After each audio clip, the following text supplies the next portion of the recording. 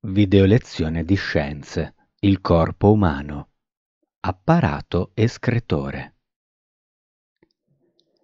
I concetti chiave dell'apparato escretore sono che è un insieme di organi per eliminare le sostanze di scarto, formato dai reni, filtri delle sostanze tossiche e dalle vie urinarie, ovvero ureteri, canali di collegamento, vescica, serbatoio elastico, uretra, canale di espulsione.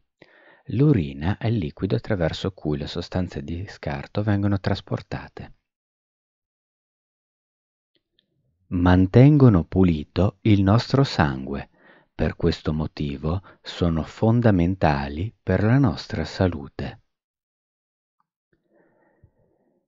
I reni sono un sistema di filtraggio del sangue da sostanze tossiche o di scarto. Le vie urinarie sono condotti per espellere i rifiuti del nostro corpo. Dove sono i reni? I reni sono due organi simili a fagioli.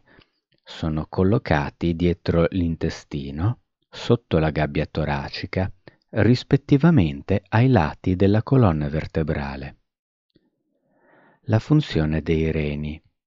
I reni servono al controllo della pressione sanguigna e della maturazione dei globuli rossi grazie alla produzione di renina. Servono a regolare l'equilibrio idrico e del pH ematico. Servono a filtrare i prodotti di scarto e le sostanze tossiche.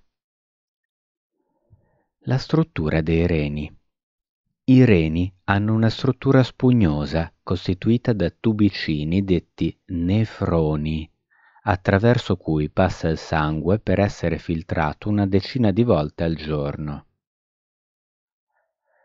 L'urina raccoglie gli scarti filtrati dai reni e li conduce all'esterno del corpo, passa per gli ureteri, si accumula nella vescica e fuoriesce attraverso l'uretra.